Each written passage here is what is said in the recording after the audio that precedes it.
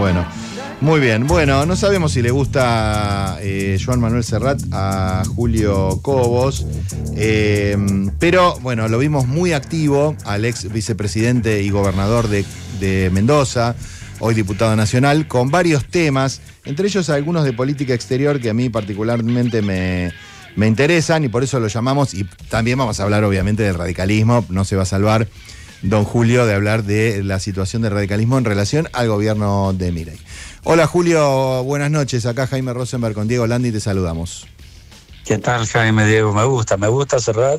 Me hace acordar a la secundaria. Sí. Al, en la época del liceo militar que yo estudiaba, que estábamos encerrados de domingo a, Sí. a viernes, era la época de él y de Roberto Carlos, así que... Ah, bueno. Un romántico, nos, un romántico. nos levantaban con discos. En, ¿Ah, sí? este, el primer disco era para levantarse y vestirse. Sí. Eh, iba una sección al baño, terminaba de otro disco, salía otra sección, empezaba el otro, bueno. Y los discos eran de Serrat, ¿En serio? Un hombre me sabe a hierba, todas estas versiones. Pero qué, lindas de qué amables los, los, eh, Sí, los los, jefes. militares, sí, Sí. nos trataban bien. Increíble, ¿no? Pero bueno, este, otra, otra visión de, de- de la de, Así es. de hacer el, el liceo militar. Este, bueno, Julio, eh, te molestamos. eh, en principio, me interesó tu postura con respecto a lo que a- a- hace un rato conversábamos. ¿no? Claro, Sí, la- sí. El, el entuerto con, con Sánchez. Sí, Más allá de la, de- del uso, sí, sí. del uso de, de- de Sánchez de las cosas, ¿cómo, cómo, cómo viste ese, ese conflicto? Y yo lo veo con preocupación, por eso nuestro proyecto de declaración habla de dos párrafos, ¿no? La preocupación por el, el retiro de la embajada, Mm, eh, que no sabemos cuánto va a durar, y la segunda es que veríamos con agrado que el gobierno intente reencauzar la- las relaciones, ¿no? Mm. Eh, obviamente que Mondino hace todo lo posible, pero el presidente cada vez la complica más con, su, con sus declaraciones, ¿no? mm, Eh, y es una macana porque obviamente que ninguno de los dos tendría que interrumpir la relación institucional y mucho no nos conviene a nosotros, ¿no? España es la puerta de ingreso a la Unión Europea. Nosotros mm. estábamos listos con el convenio para ingresar a la Unión Europea. Sí, Bueno, yo presidía Relaciones Exteriores en ese momento en el Senado claro. y la verdad que trabajamos mucho, mucho. Mm, Faltaba un, hilvanar una, dos, tres puntadas ahí con,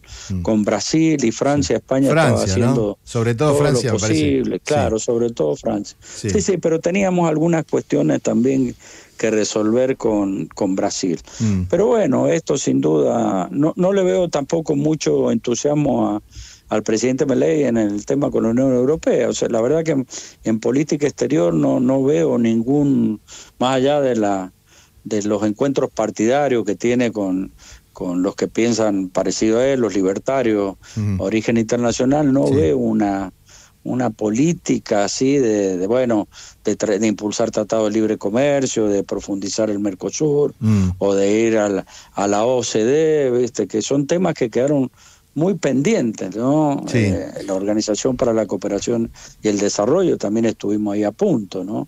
Sí, uno Pero ve. bueno, eh, qué sé Sí, yo. Julio, no sé cómo lo Sí. ves, pero a mí me da la impresión, por ejemplo, en el caso de Colombia, la Cancillería se movió y se arreglaron las cosas, ¿no?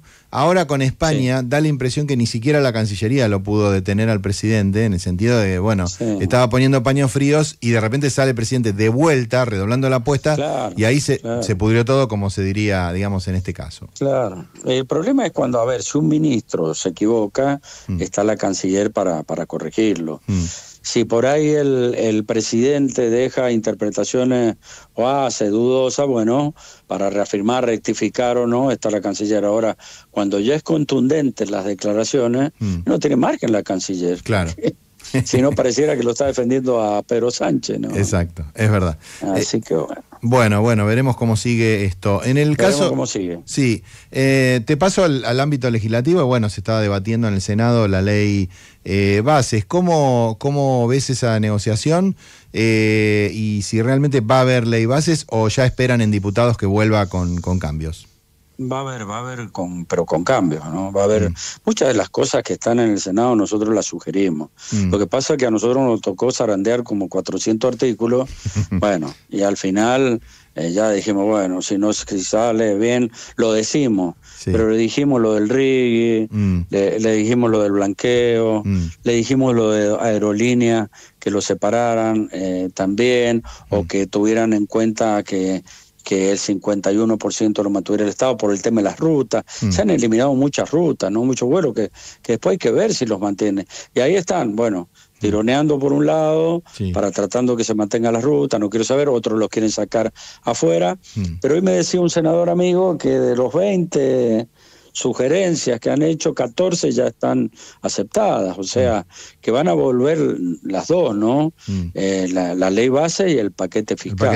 El paquete fiscal, algo que yo inclusive lo propuse ahí sobre tabla, que no quise forzar una, una, una votación al rechazarlo, como mm. se rechazó lo del tabaco, viste que después, bueno, tras se rechazó, forzamos una que el tema de la eh, actualización de lo del monto para deducir eh, interés hipotecario de ganancia, mm. que está en 20 mil pesos cuando era 20 mil dólares. Claro. Entonces yo, le dije, estamos, estamos, estamos, 100.000 familias con problemas mm. con los créditos. Estamos incorporándolo seguramente a lo de la cuarta categoría a volver a tributar ganancias. Mm. Eh, por lo menos démosle la posibilidad de los que tienen crédito eh, que actualicen el monto a deducir. Y por otra parte, los bancos eh, están lanzando nuevas líneas de crédito, también va a ser un incentivo esto, ¿no? Pero bueno, eso me han dicho que ya lo han aceptado, ¿eh? Mm. Eh, porque hoy salió en iProfesional esta cuestión y también los bancos lo estaban pidiendo, ¿no? Okay. Bueno, así que bueno, van a, va a haber cambios, así que seguro, lo que sí, nosotros lo que venga lo vamos lo vamos a votar del radicalismo, ya más o menos lo que hemos, que hemos hablado. Aparte que va a venir lo que venga, yo me imagino que los legisladores de la UCR, que son los únicos que están eh, eh, modificando algo, proponiendo sugerencia, mm. el PRO no, ha hecho ninguna, mm. el PRO acepta todo tal cual como, como está, como por la patria sabemos que no quiere saber nada de nada, el rechazo, entonces siempre que el radicalismo, ahí eh, con lo mismo más o menos no pasó en diputados, mm. pero nosotros lo que entendemos que, que lo que venga ya va a ser consensuado, así que nosotros acompañaremos la, la revisión que realice la Cámara de Senadores, que por algo es Cámara de Revisión también, ¿no? Claro, exacto.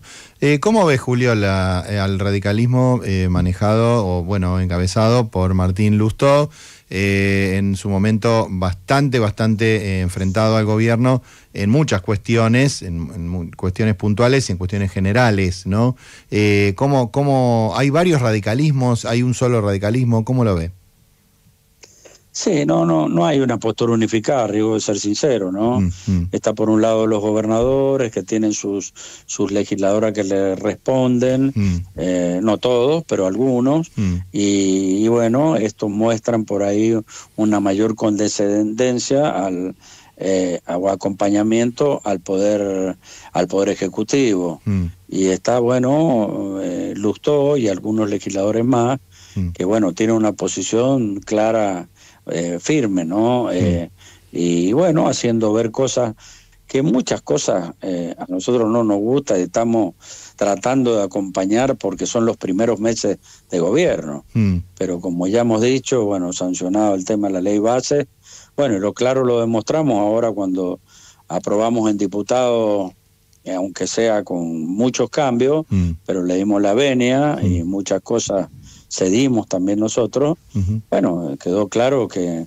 que, en el tema universitario no íbamos a ceder y hicimos un pedido de sesión especial, tuvimos éxito, se logró por lo menos el emplazamiento y hoy se han sacado los dictámenes, cuatro dictámenes hay. Mm. Pero la mayoría, no sé si estás al tanto, pero 34 firmas logró el de Unión por la Patria, 26 el LA y y como es y el Pro, nosotros 21 y mm. después dos con el FID. Así que bueno, va a haber un final abierto, a ver cuál es eh, eh, de los eh, dictámenes que, surjan, pero todos mm. en común actualizan el, el presupuesto enero del 24. La diferencia con el nuestro y el LA es que mm. pedimos una actualización bimestral. Claro. Eh, el, otro, el, oficialismo no, no quiere. Bueno, y tenemos algunas otras grandes diferencias también con Unión por la Patria. Pero bueno, estamos demostrando también que vamos a, no digo endurecer la postura, pero pero bueno, representar a los, a los principios del radicalismo en cada una de las posturas eh, que ahora vamos a ir teniendo en cada uno de los temas que vengan. ¿no? Mm.